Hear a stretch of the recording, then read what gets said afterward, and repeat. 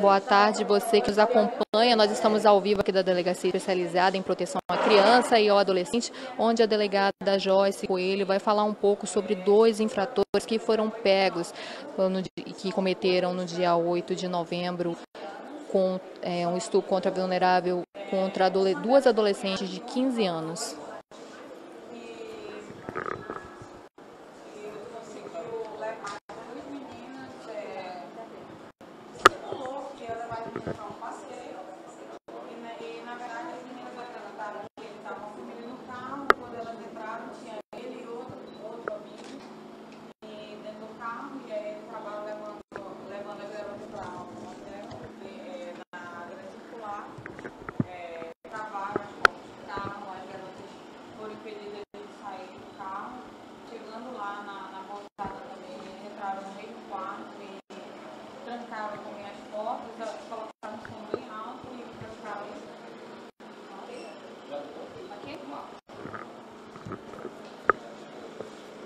Neste momento, a delegada vai esclarecer mais detalhes sobre a ocorrência dos adolescentes.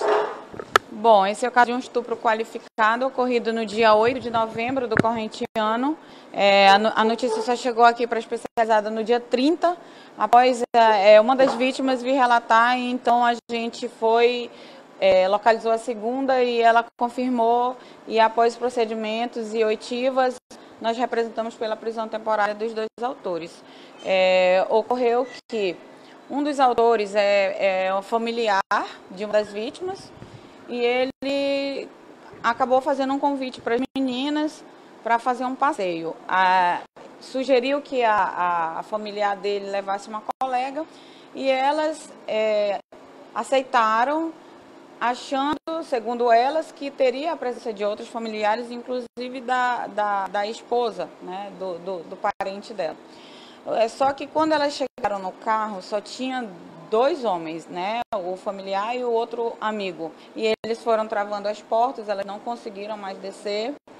É, desde então, elas, elas foram conduzidas para um, um motel na Grande Circular eles, eles já tinham bebida, é, forçaram elas a ingerir bebidas alcoólicas, entraram no mesmo quarto e, com som muito alto, praticaram o crime, que foi um crime muito violento, o relato é muito violento e, e de, de, de, forma que está comprovado também o laudo de IML.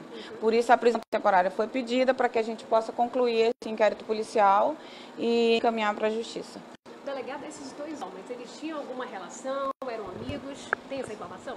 São amigos, são amigos e moradores da mesma rua. Na certa, um convidou o outro para fazer esse crime, né? Essa vítima relatou é, como é que era o grau de, de amizade com o ex-cunhado? Eles se falavam com frequência mesmo após o término do relacionamento? Sim, ela, ela, ele tem um, um, filho, né? Tem um, tem um filho, é um parentesco. Então a família, é, ela confiava no cunhado. Adolescente acabou confiando e indo e depois aconteceu tudo o que aconteceu, deixando a família é, revoltada e também numa situação difícil, porque ao mesmo tempo em que uma das filhas dele tem um filho em comum com o, o estuprador, a outra filha vítima é, é, é, é, é uma adolescente apenas 15 anos que, que está sofrendo muito com tudo que aconteceu. A delegada tem possibilidade de vingança ou é, pode desconsiderar isso? Tem sim. É, a gente ainda não confirmou, vamos ouvir mais pessoas, mas há, há um indício de que, de que esse, de que, de que o, o cunhado teria se separado e não, não estaria muito satisfeito com a separação e teria feito isso como forma de se vingar da, da ex-esposa. Ao que parece, até reatar o relacionamento agora, é, mas a denúncia está mantida, o, o, resultado foi comprovado, é, foi um crime violento e eles estão indiciados por estupro qualificado, também pelo crime 243 do ECA de oferecer bebida para menores, né, e fornecer, pagar bebidas, e também de cárcere, porque elas foram trancadas desde o carro até quando chegaram lá, elas ficaram todo o tempo privadas do direito de correr. Né? E gritaram muito, mas não conseguiram, porque, segundo elas, o, volume do carro estava muito alto e do quarto do motel também estava alto. E quanto tempo durou desde que elas entraram no carro até ao momento que elas foram liberadas?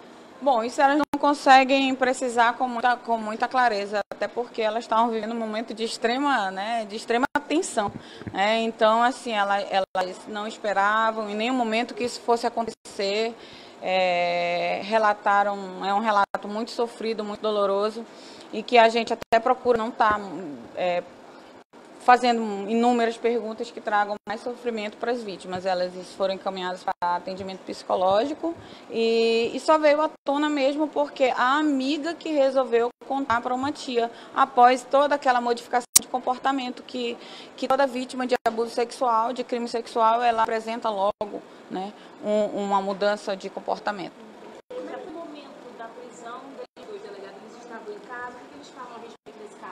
Bom, de posse do mandado, nós, nós, no dia 18 nós fizemos diligências à residência dos dois.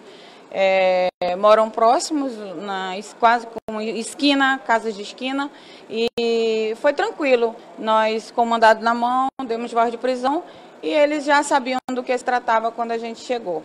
Então, assim, eles sabem o que fizeram e, e e agora sabe que estão respondendo por isso. Já se pronunciaram a respeito disso?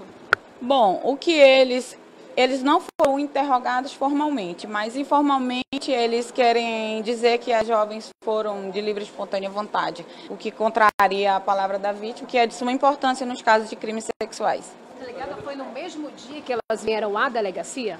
Não, não foi no mesmo dia. É, o fato foi no dia 8, elas vieram no dia 30 por conta que, com a relação familiar, o familiar ameaçou.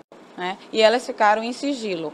A outra jovem é, passou a apresentar muitos comportamentos que a família estranhou e aí ela acabou relatando isso. Então, a família da, da, da jovem, da primeira, né, da, da parente do, do preso, acabou descobrindo dessa forma, através da família da colega.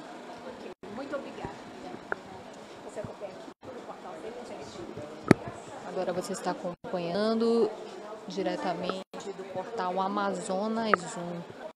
Daqui a pouco vão ser apresentados o industriário de 30 anos e o que é cunhado da vítima e o Ezequias Rodrigues dos Santos de 36 anos.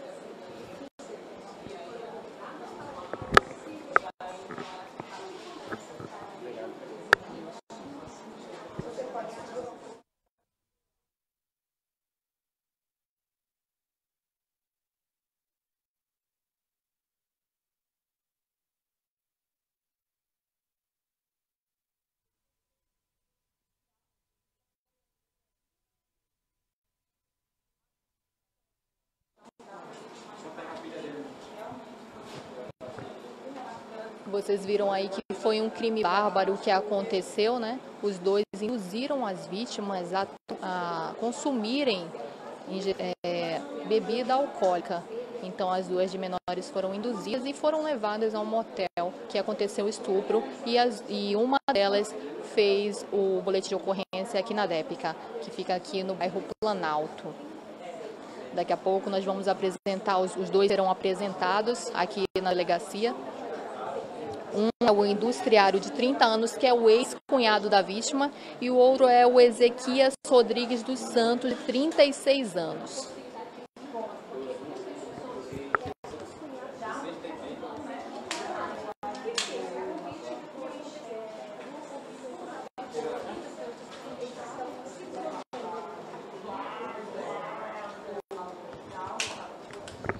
Então você acompanha aí os dois que estão nesse momento o que está cobrindo o rosto é o Ezequias. Estão chegando aqui os dois suspeitos.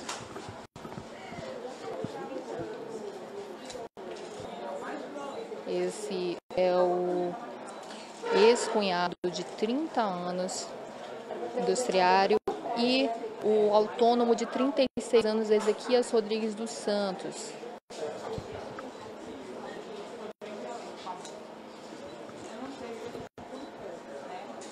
Esses dois foram bastante violentos, né, com as duas adolescentes de 15 anos.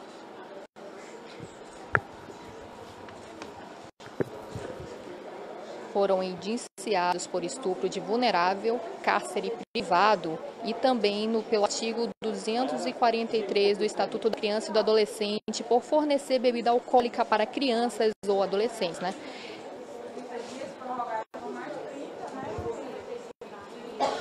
Ficarão presos por 30 dias que serão e possivelmente vai ser prorrogado por mais 30 dias.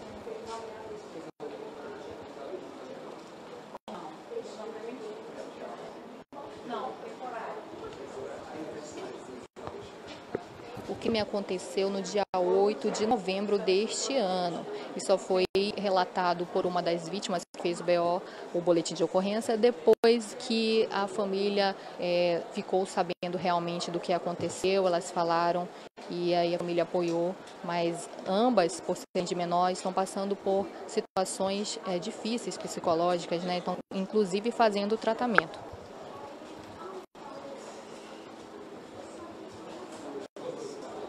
O crime aconteceu, eles fizeram quando fizeram duas vítimas, elas, as duas vítimas entrarem no carro, né? E ficaram presas e consumiram bebidas alcoólicas e foram até, e levaram as duas até o um motel, as duas adolescentes de 15 anos.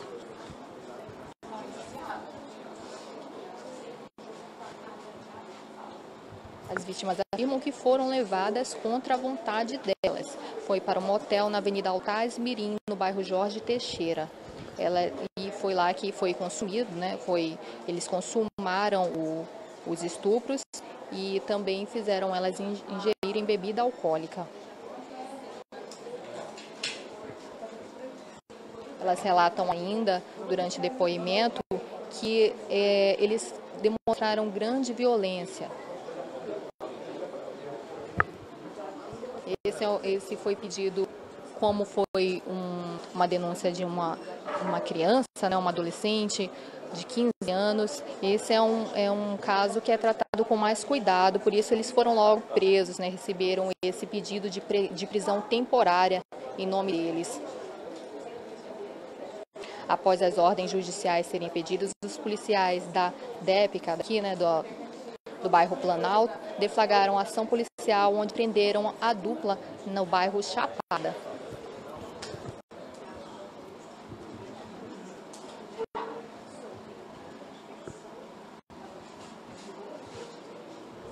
Você que está entrando neste momento, acompanhando, nós estamos aqui na Delegacia de Proteção Especializada, Proteção à Criança e ao Adolescente. É, esses dois infratores que abusaram de duas garotas de 15 anos, dia 8 de novembro. Um é industriário, que é cunhado da vítima, e o outro foi identificado como Ezequias Rodrigues dos Santos, de 36 anos. Eles conduziram, é, foram acusados por uma das vítimas de 15 anos a, a convidaram, é, convidou ela para dar um passeio e pediu para que ela levasse a amiga. E ela levou outra, outra amiga dela de 15 anos. Foi nesse, nesse caso, eles fizeram elas consumirem bebidas alcoólicas, tudo contra a vontade delas, e levaram as vítimas para o motel.